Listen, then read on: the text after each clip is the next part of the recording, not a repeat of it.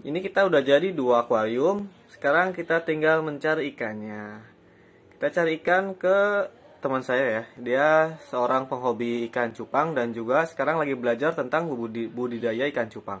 Kita sergap ke sana, terus misalnya ada yang bagus kita beli.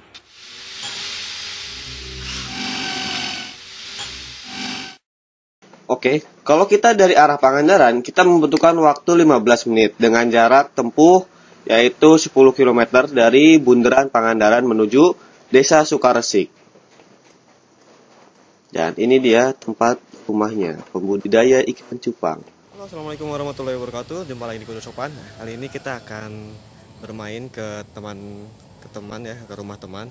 Dia ini lagi hobi ikan cupang. Jadi kita akan lihat eh, bagaimana koleksi-koleksi ikan cupang ya, oke?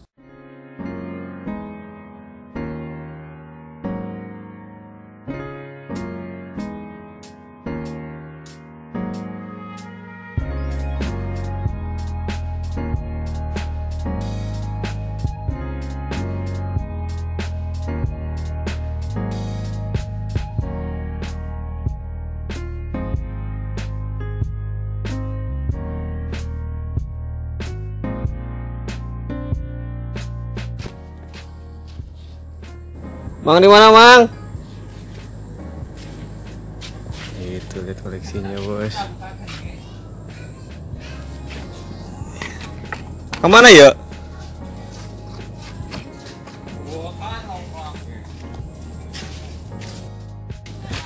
Nilai dinafak dia. Ketahuan nih. Kira mau motor.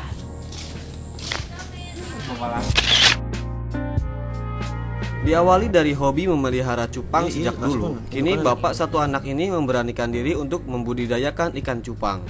Selain untuk hobi, menurutnya prospek ikan cupang ini cukup menjanjikan. Dimulai sejak Januari 2020, Kapten Gibran Farm ini dimulai.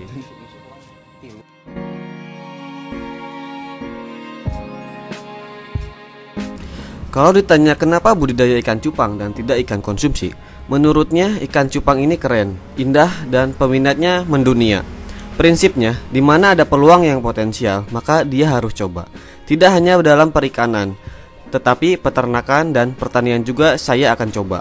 Mungkin di segmen perikanan ikan cupanglah yang pertama kali dilirik.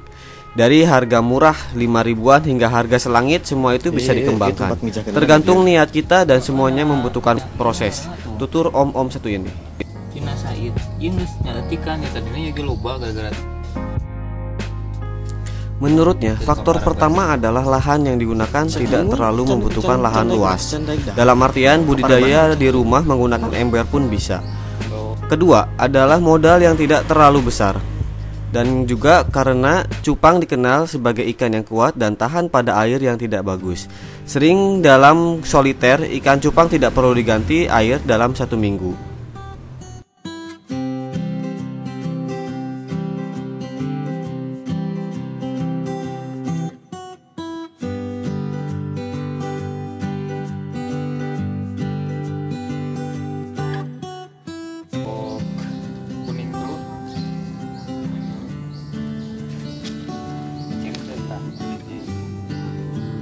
Ini lakukan nih bos. Nanti kaciri dah apa yang banyak. Tapi handap. Perlu di zoom. Pakan yang digunakan sampai saat ini oleh pemilik adalah kutu air dan jentik nyamuk sebagai pakan alami atau pakan hidup. Ada pula pelet digunakan sebagai variasi makanan tambahan. Untuk burayak sendiri diberi kuning telur yang sudah direbus. Mun. Indukan. Karena mun. Jaluna beurim ngajaran be. Tapi jadi. Jadi kan bukan kok jadi na naon gedena gitu.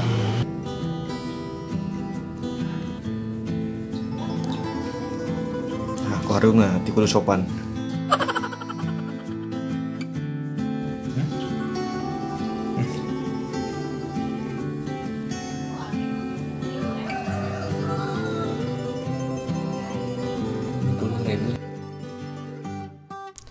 Sejak memulai budidaya ikan cupang pada Januari 2020, Kendala yang dialami adalah pakan hidup yang susah dicari.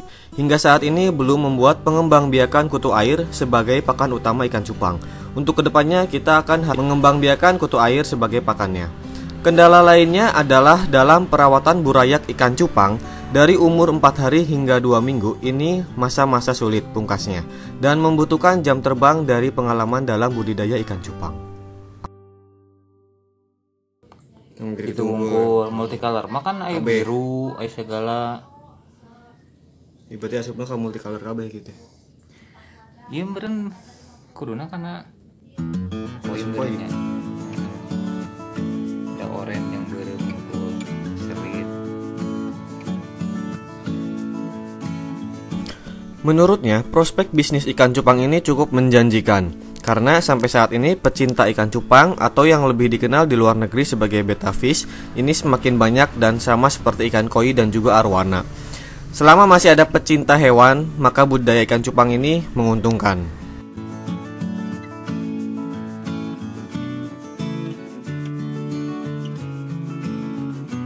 Imbuhnya, untuk penjualan saat ini kita menjual satuan, tidak partaian, karena masih dalam tahap belajar pembudidayaan. Penjualan lokal yaitu dengan customer datang langsung ke farm atau online bisa dilihat di Instagram kita di Pangandaran Beta Galeri.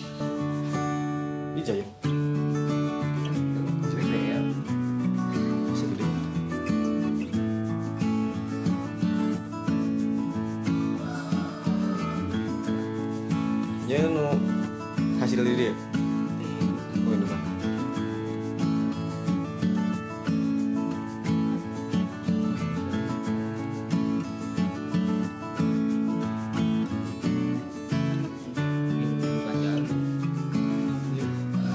Sedeki marah hal bos.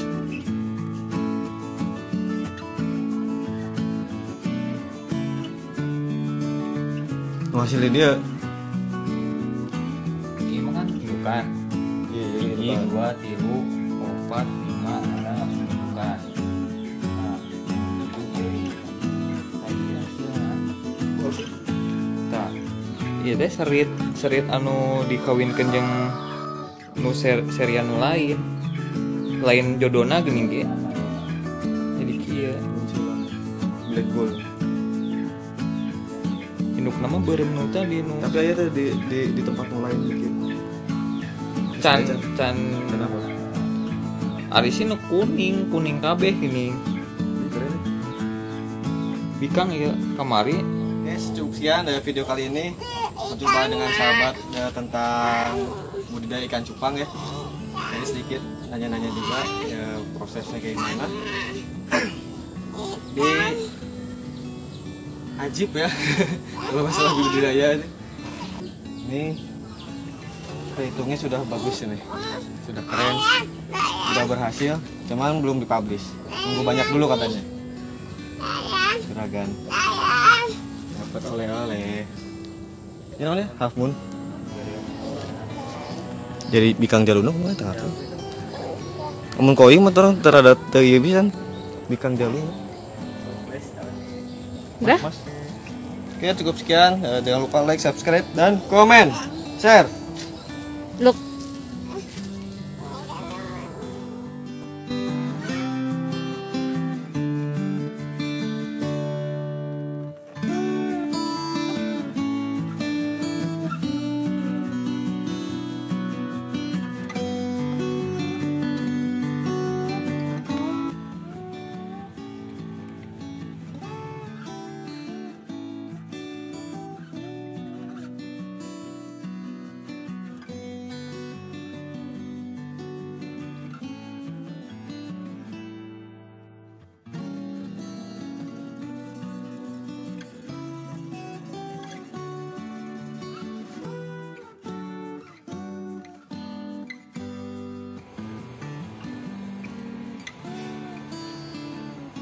Kita tambahkan airnya sedikit demi sedikit menggunakan tangan seperti ini supaya hardscape-nya tidak hancur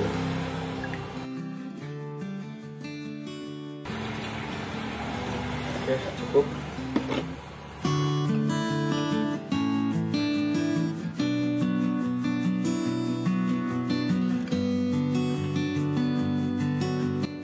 Cukup sekian video kali ini tentang kunjungan ke perikanan budidaya ikan cupang. Kalau ada minat bisa hubungi Instagram mereka di Pangandaran underscore beta underscore galeri. Semoga bermanfaat. Jangan lupa like, subscribe, dan komen jika ada pertanyaan. Share jika merasa ini bermanfaat. Wassalamualaikum warahmatullahi wabarakatuh.